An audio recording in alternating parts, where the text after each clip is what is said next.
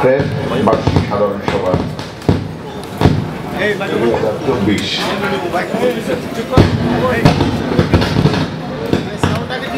বার্ষিক সাধারণ সভায় আজকে অনুষ্ঠিত হতে যাচ্ছে সেই অনুষ্ঠানে ক্রেবের সভাপতি এবং সাধারণ সম্পাদক উপস্থিত আছেন। এখানে উপস্থিত আছেন ডিআরও প্রেসিডেন্ট এবং সেক্রেটারি সহ সাংবাদিকবৃন্দ, সাংবাদিক নেতৃবৃন্দ।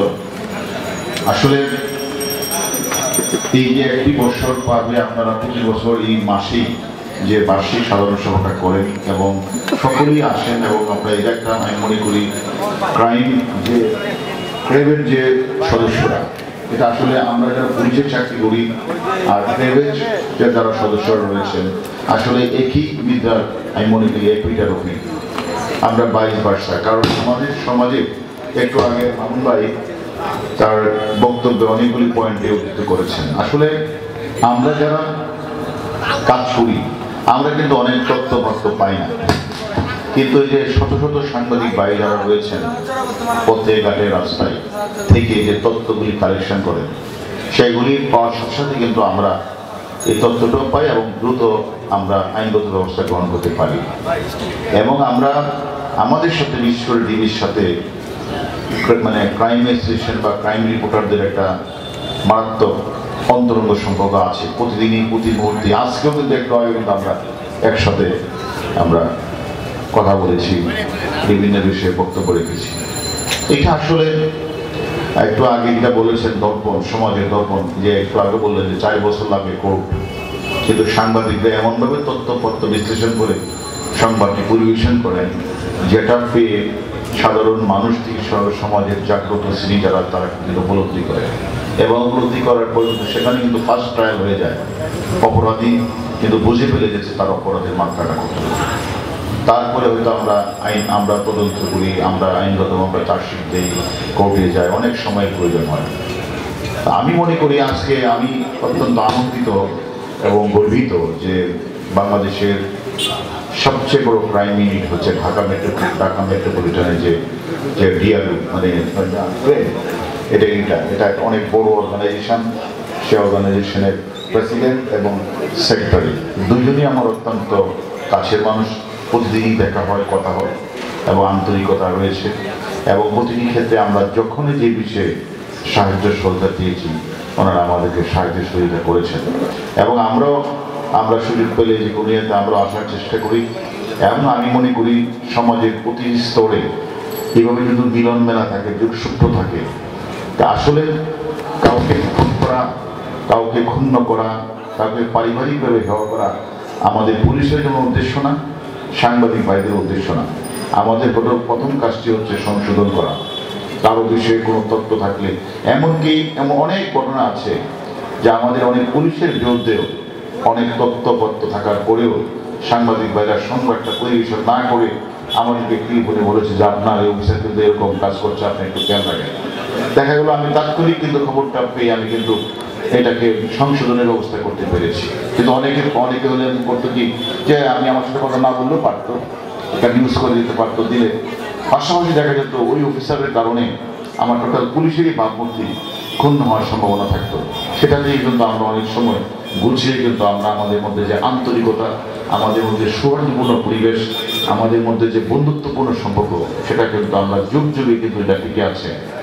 এবং আমি মনে করি, সাংবাদিক ভাইরা যদি সেই সাহায্য সহযোগিতা আমাদের না করতো, তাহলে আইন শৃঙ্খলা নিয়ন্ত্রণে, বিশেষ করে আমাদের যে আমাদের যে অবদান, এটা আসলে অনেক এত অংশে হতো বা সম্ভব হতো না। আজকে ঢাকা সহ সারা বাংলাদেশের বিশেষ করে ঢাকা শহরে আইন শৃঙ্খলার যে অবস্থা, আমি মনে করি এককভাবে কোনো কারও পক্ষে কিন্তু সম্ভব না। এটা একমাত্র আমি মনে করি অবদান হচ্ছে আপনাদের।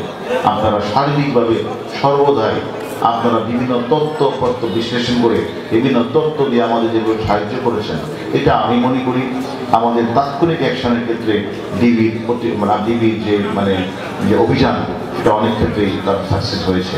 আমি জানি যে আজকে মানে সাংবাদিক ভাইরা, তারা যে কঠোর পরিশ্রম করে, তারা না খেয়ে, না ই করে, তারা যে মানে যানবাহন না থাকে না তাদের বিভিন্ন অভাব কষ্টের মধ্য দিয়ে তারা যেভাবে ম্যাক্সিমাম সাংবাদিক ভাইরা যেভাবে সৎভাবে মানে মানুষের সাথে বিহেভিয়ার ভালো করে যেভাবে কাজ করে যাচ্ছে, আমি মনে করি এটা একটা, আমি মনে করি এটা এক ধরনের ভলান্টিয়ার জবের মতো।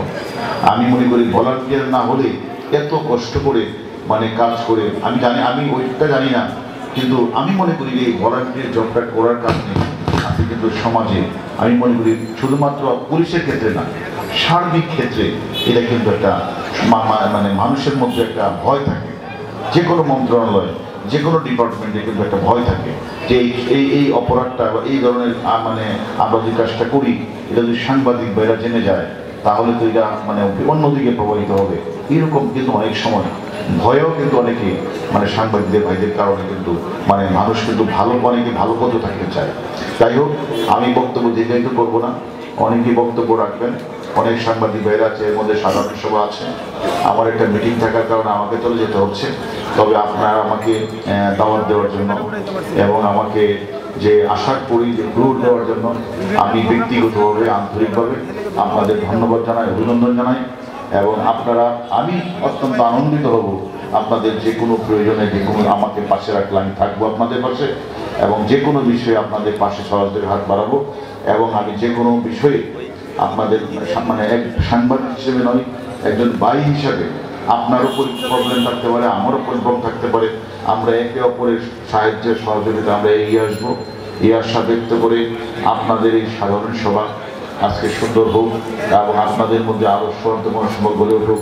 এবং আমি মনে করি নতুন যে নির্বাচন হবে, সেই নির্বাচনে আবার নতুন করে আবার নতুন কমিটি আসবে, সেটার সাথে আমরা আবারও কাজ করব।